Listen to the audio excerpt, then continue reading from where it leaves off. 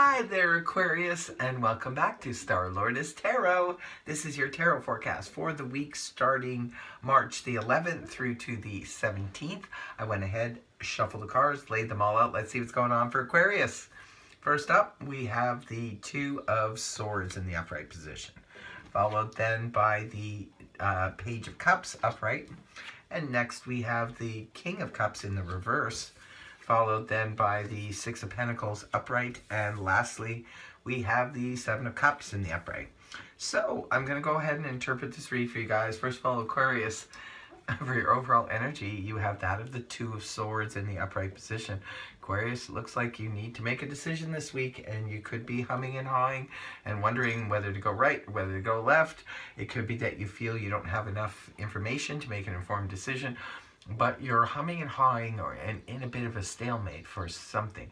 Remember, too, we can be in a stalemate because we can't move forward. We're waiting on information. Remember, Mercury is retrograde right now, so it could be that the information isn't coming forward. That's why you're sort of stalling on the decision.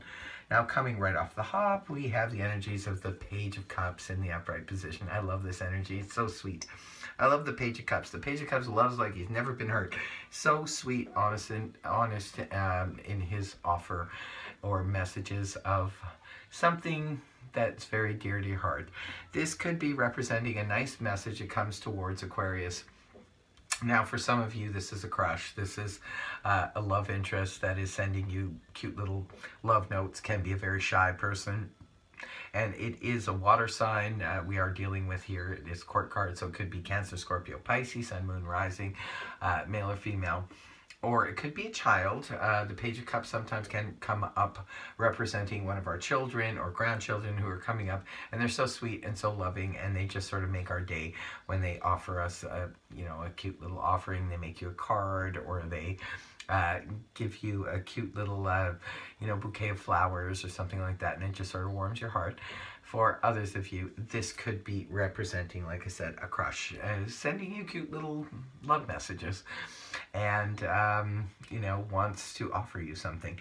It can represent a message of an offer coming towards uh, Aquarius, for some of you, again, you know, it could be uh, on the emotional front, definitely romantic front. For others of you, this could just be uh, messages coming through about a possible uh, career or job position that is dear to your heart.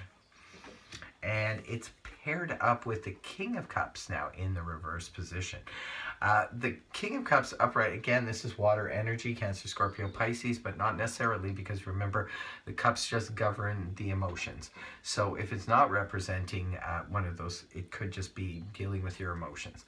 Now, the King of Cups in the upright position, this is someone who is very emotionally strong, stable, uh, capable of dealing with the emotions in the most mature way. Um, the King of Cups is also very compassionate, caring, and understanding. When the card is inverted like this, this can represent uh, someone being emotionally upset. Now, it could be you yourself. Maybe some of you um, are getting this offer and it's upsetting you. Uh, maybe these uh, little love notes are uh, causing your emotions to get a little bit out of whack. For others of you, maybe it's upsetting someone else. Perhaps these love messages that are coming towards you are upsetting someone else or it could be that you know the the offer that's coming through is uh, like I said is some somehow throwing your emotions off, uh, out of whack, so or off track. Some something's going on there. You'll have to leave a comment in the comment section below. Moving towards the weekend, we have the energies of the Six of Pentacles in the upright position. This is really nice energy. I like the Six of Pentacles. This comes about to let us know that the energies around us are that of fairness and balance. Now, this could be in a relationship. Maybe the fairness and balance is uh, happening in a relationship where you know you feel like it's everything's equal there. For others of you, it could be representing equal work for equal pay.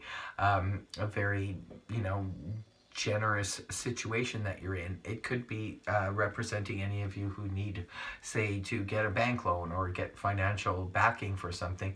It's there for you, right? Or it could be eh, the other way too. The energies can go the other way. Maybe somebody is asking you to be generous with them and you're helping them out. But very nice, very nice energy uh, representing fairness, balance, and generosity. And the last card you have up is the Seven of Cups in the upright position. I always say it's better to have more options than none. uh, the only thing we have to worry about with the Seven of Cups energy is, although there's a lot of options and a lot of opportunities there presented towards us, we have to be careful with this energy because some of them are not suitable. That's why you have to go over these offers with a fine tooth comb and make sure that the ones that you're actually pursuing are ones that are going to work for you.